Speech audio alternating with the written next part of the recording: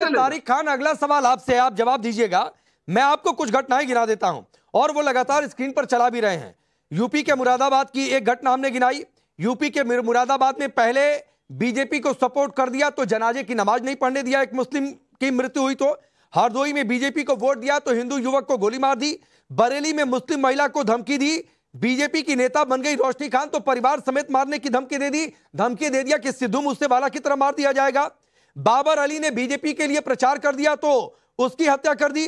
अमेठी से इस तरीके की घटना सामने आई, किदवई नगर में कितनी गिरा हूँ और इन सबके पीछे एक वजह है कि आप लोग डराते हैं। शायद ये एक वजह हो सकती है, मैं ये कह रहा हूँ। जो रोहन गुप्ता कह रहे हैं, आप लोग डराते हैं, धमकाते हैं बीजेपी के नाम पर, मोदी के नाम पर। वक्फ वक्फ में संशोधन की बात आ जाती है तो एंटी मुस्लिम है, मस्जिद मदरसा छिन जाएगा। तो ये लोग बताएँ ना कि हम लोग नहीं डराते हैं। ये लोग बताएँ ना। ये अपने आप को अच्छा साबित करें। अच्छा साबित करने के लिए क्या करते हैं? वक्त अमेंडमेंट जैसे बिल लेके आते हैं जिसका मुसलमान विरोध करता है पचास लाख नहीं वो अच्छा साबित करें और डराते धमकाते रहेंगे। वो अच्छा साबित करते रहे अपनी सफ़ाई देते रहे करते रहे और तारिक खान आप लोग डराते धमकाते रहेंगे। कब डराया हमने? कब डराया हमने? किसी बड़े नेता की आप भाषा तो ये क्या बात है? बरगलाने की बात तो- एक तरीके से डर दिखाने की बात।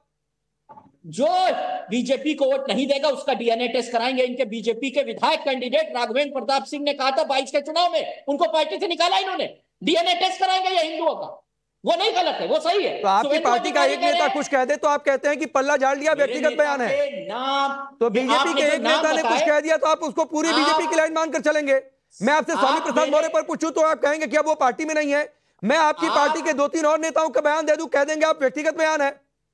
मैं कह रहा हूँ आप मेरे नेताओं के बयान बताइए जब मुसलमानों को धमकाया कि इनको बीजेपी को वोट मत देना। नहीं, नेता का बयान बताइए। नहीं नहीं नहीं मैं मैं ये नहीं कह रहा हूँ कि आपके किसी बड़े नेता ने धमकी दी या क्या किया लेकिन कुछ केसेस सामने आए हैं जिसमें आपकी पार्टी से जुड़े लोगों पर आरोप लगा है तो केसेस और तो धमकी किस तरीके से दी जाती है? अभी मैं नोएडा का उदाहरण गिना दूँ। आपकी एक पार्टी के नेता का कोई प्रॉपर्टी सील हुई उन्होंने अधिकारी को धमकी दी है। मुख्तार के बेटे ने कहा था आने दो सफाइयों का शासन बुलडोजर देखेंगे हाँ, किधर हाँ, हाँ। चलेगा। आपकी पार्टी के एक नेता ने- कहा मठ पर चला देंगे बुलडोजर। धमकी देने की फहरिस्त गिनाऊँगा बहुत लंबी फहरिस्त है तारिक खान। ठाकुर साहब ने बीजेपी के विधायक को कूट दिया दनादन वो लखीमपुर में देव मारा तमाचा ही तमाचा बेचारे को क्योंकि बैकवर्ड था वो शायद इसीलिए क्योंकि योगी साहब की जाति का था जिसने मारा है। वो मार सकता है विधायक को विधायक छोड़िए सांसद को मारेगा। अरे इनको मार देगा प्रवक्ता को ये कहीं मिल जाएँगे। क्योंकि अपनी जाति को संरक्षण देना है भाई। विधायक को पिटवा दिया। पूछ आपसे कुछ रहा। क्यों ना जाए? क्यों ना जाए? प्रधानमंत्री जाति की बात कल ही कर रहे थे मैंने तो आपने आप, आप जिस सुनिए आप जिस जाति की बात कर रहे हैं और जिस जाति को अपना वोट बैंक समझते हैं हरियाणा में जाकर आंकड़े देख लीजिए। उसी यादव समाज ने जो एक आंकड़े आए हैं कितना वोट दिया है भारतीय जनता पार्टी को मैं उधर नहीं जाना चाहता हूँ। रोहन गुप्ता एक रिप्लाई आपका फिर मैं साजिद रशीदी आपके पास आ रहा हूँ। देखिए राकेश जी मैं आपको यही कह रहा हूँ कि जब देश की जनता की बेहतरी के लिए कुछ भी होता है उसको तुष्टिकरण से नहीं जोड़ना चाहिए। ये वक्फ बोर्ड में आप जो है एक करोड़ से ज़्यादा सजेशन आए उस पर डिस्कशन होगा।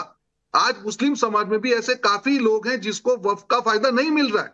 सरकार ये चाहती है कि सबको फ़ायदा मिले। उसमें आप क्यों भड़काने का काम कर रहे हैं? नंबर वन नंबर टू जहाँ देश के लॉ की बात आती है, लेके कायदे की बात आती है, उसमें भी आप लोग भड़काने का काम करते हैं। यूपी में अभी किसी क्रिमिनल को मारा गया, उसमें भी इन्होंने जाति से जोड़ दिया। अरे क्रिमिनल क्रिमिनल होता है, क्रिमिनल का कोई धर्म नहीं होता।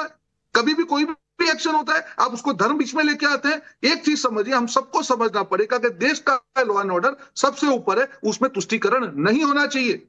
ये देश के लिए ठीक देश बदल रहा है, देश आगे बढ़ रहा है। इन्होंने कहा, मैंने वापस एग्ज़ाम्पल दे रहा हूँ जितनी भी योजनाएँ हैं धर्म जाति के भेदभाव के बिना हर आदमी को उसका फ़ायदा मिल रहा है। और इसीलिए जो मुस्लिम समाज के लोग हैं वो समझना चालू हो गए हैं। और इसीलिए अब इनको डर लग रहा है कि अगर ये वोट बैंक भी चला गया तो हमारा क्या हाल होगा? आपने कई सही कहा यादव समाज की बात करें छत्तीस बिरादरी ने हरियाणा में जब लोग सारे लोग कह रहे थे कि भाजपा हारेगी उसका जीत का कारण है कि जो योजनाओं का लाभ सबको पहुँच रहा है। तुष्टीकरण की राजनीति नहीं चल रही है। बांटो और राज करो अंग्रेज़ चले गए इनको छोड़ के चले गए। बांटो और राज करो नहीं चलेगा। ठीक है। आपको सबका बात करनी पड़ेगी सबके विकास की ठीक है मैं आऊँगा और इसका एक उदाहरण भी दूँगा तारिक खान जो आप कह रहे हैं ना कि डराने धमकाने बरगलाने की किसने कोशिश की मैं वो भी नाम गिनाऊँगा और आपके सबसे बड़े नेता का नाम गिनाऊँगा। उस पर भी जवाब दूँगा लेकिन साजिद रशीदी आपको किसी ने आज तक धमकी तो नहीं दी? हालाँकि आप तो मेरी जानकारी है शायद दिल्ली में रहते हैं।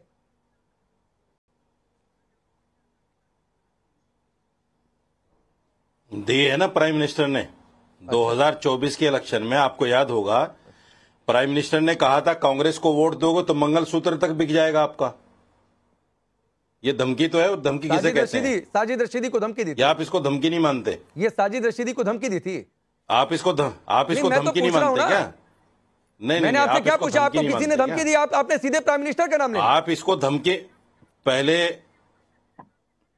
पहले आप ये तय करो ये धमकी है कि नहीं है? किसको दी है नहीं, मैं किसको अभी नहीं नहीं रहा बात है। ये धमकी है कि नहीं है? मैं अभी उस पर जा ही नहीं रहा कांग्रेस को वोट दोगे मैंने तो आपसे सवाल क्या पूछा? दूसरी बात मैंने आपसे सवाल जो पूछा उसका जवाब दीजिए। अब सुनिए आगे की बात।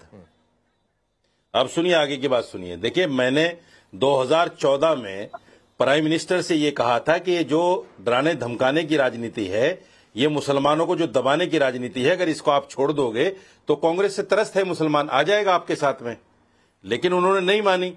11 साल के बाद अब समझ में आ रहा है बीजेपी को कि मुसलमान को साथ लेना पड़ेगा।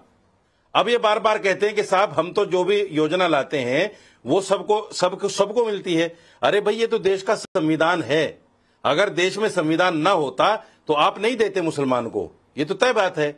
ये तो संविधान ही ऐसा है। हैं। आप कर ही नहीं सकते अलग। आपके पास ऐसा कोई पावर है ही नहीं कि आप मुसलमान को अलग दे दो हिंदू को अलग दे दो सिख को अलग दे दो ईसाई को अलग आपके पास पावर नहीं है। ऐसा। आपको देना ही पड़ेगा सबको साथ में। ये कोई एहसान नहीं कर रहे हो। ये कोई एहसान नहीं कर रहे हो आप मुसलमान समझ लीजिए इसको। चित्रा। नहीं नहीं नहीं मैं आपके बीच में नहीं बोला। मैं आपके बीच में नहीं बोला। आपको क्यों आपको क्यों गलत लग रहा है ये? मैं आपके बीच में नहीं बोला। चलिए, साजिद रशीदी अपनी बात पूरी करिए। देखिए ये देश का संविधान है। अगर इसको बार बार एहसान हम मैं ये कह रहा हूँ कि ये बीजेपी के लोग बार बार एहसान जताते हैं हमने घर दे दिया हमने गैस दे दिया हमने ये नहीं देखा कि मुसलमान है कि नहीं। मेरे भाई ये एहसान मत जिताओ। अब भी वक्त है। अगर आप नरम हो जाओगे जिस तरह योगी जी धमकी देते हैं बार बार क्या? जिस तरह आपके दूसरे नेता मुसलमानों के कब्रिस्तान या पाकिस्तान हिंदुस्तान में रहना है, जय श्री राम कहना ये सारी चीज़ें अगर खत्म कर दो ठीक है। मुझे नहीं ध्यान है कि मुसलमानों का नाम लेकर धमकी किसी बीजेपी नेता ने दी है मुझे नहीं ध्यान है। तो ऐसी बातें मत रशीदी साहब मत क्या करिए। नहीं याद ही होगा। राकेश जी छोटी सी मैं बात करूँगा। यहाँ पे हमारे साथी ने ये कहा कि संविधान नहीं होता। अरे किसी कभी कभी मंशा नहीं होगी। ये सरकार में हर आदमी का विकास हुआ है और ये कहना कि नहीं नहीं ये होता तो बिल्कुल नहीं। सबका अधिकार है। देश के संसाधनों पर सबका विकास होगा। जो लोगों को भी ज़रूरत है तो सबका विकास होगा। पर जब ये चीज़ों पे तुष्टिकरण किया जाता है मैं आपको बता रहा हूँ क्या हो रहा है। देखिए विपक्ष की एक नीति बन चुकी है। एक तुष्टिकरण करो मुस्लिमों को डराओ जिससे आपका जो वोटर है वो आपका कॉन्सोलिडेट रहे। और दूसरा हिंदू में डिवीज़न करो जिससे आपकी दुकान चलती रहे। जब डिवीज़न हिंदुओं का होता है भाजपा के नेता ने उसके खिलाफ हमेशा बोला है। और उनका मैं आपके बीच में नहीं बोला था। अब आप सुन लीजिए। मैंने आपका रिस्पेक्ट रखा था मेरी बात सवाल अगर डिवीज़न होगा अगर हाँ, हिंदुओं का भी। डिवीज़न होगा वो भी गलत है। अगर मुस्लिम समाज को साथ में जोड़ के बोला जाता है तो हिंदू समाज का भी अधिकार के जब उनके अधिकार की बात हो उनको भी जोड़ के बात हो उसमें क्या गलत है? ठीक है। अगर ये कह दिया कि साथ में रहेंगे तो क्या ठीक है ठीक है।